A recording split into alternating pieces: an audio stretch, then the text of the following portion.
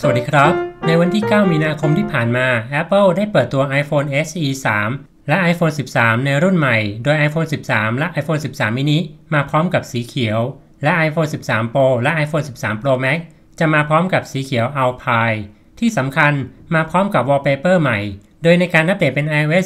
15.4 Apple ได้เพิ่ม wallpaper ใหม่มาให้กับ iPhone 13 ทุกรุ่นด้วยครับ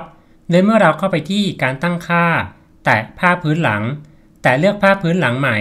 แต่ Live จะมีภาพ Live Wallpaper ใหม่ในแบบสีเขียวมาให้เลือกใช้กันด้วยครับ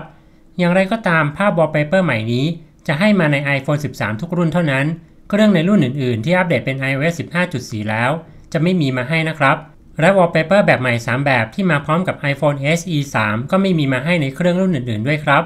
แต่ไม่ต้องเป็นห่วงไป เพื่อนๆ ที่อยากได้ Wallpaper แบบใหม่ในโหมดภาพนิ่งทุกแบบ เราสามารถดาวน์โหลดได้ง่ายๆ และดาวน์โหลดได้ฟรี ด้วยแอป Wallpaper Central ที่สามารถดาวน์โหลดแอปได้ฟรีจาก App Store ครับ ลิงก์ในการดาวน์โหลดแอป จะอยู่ในคำอธิบายใต้คลิปนะครับ เมื่อดาวน์โหลดและติดตั้งแอปเรียบร้อยแล้ว ให้เพื่อนๆ เปิดแอปขึ้นมา ในแท็บหัวข้อ Home เพื่อนๆ จะเห็นภาพ Wallpaper ใหม่ทั้งของ iPhone SE 3 และ iPhone 13 ทุกรุ่น พร้อมให้ดาวน์โหลดไปใช้กันได้ง่าย ๆ ดาวน์โหลดกันได้ฟรีเลยครับ อยากได้แบบไหนให้แตะเลือก ในหน้าจอแสดงตัวอย่างเพื่อนๆ สามารถแตะดูภาพตัวอย่างเพื่อเปิดดูภาพแบบเต็มจอได้ด้วยครับ จากนั้นแตะอีกทีเพื่อย้อนกลับไปยังหน้าจอก่อนหน้า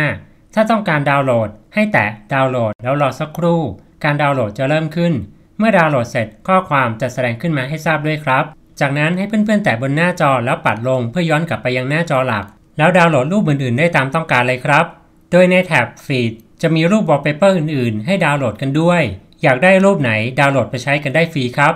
โดยรูปทั้งหมดที่ดาวน์โหลดจะถูกเก็บไว้ในแอปรูปภาพ เพื่อให้เพื่อนๆนำไปใช้เป็นภาพวอลเปเปอร์กันได้ง่ายๆ ทันที เพื่อนๆที่อยากได้วอลเปเปอร์ใหม่ๆ ไปดาวน์โหลดมาใช้กันได้เลยครับ ขอบคุณมากครับที่ติดตามรับชม และพบกับสอนใช้ง่ายนิดเดียวในตอนหน้า สวัสดีครับ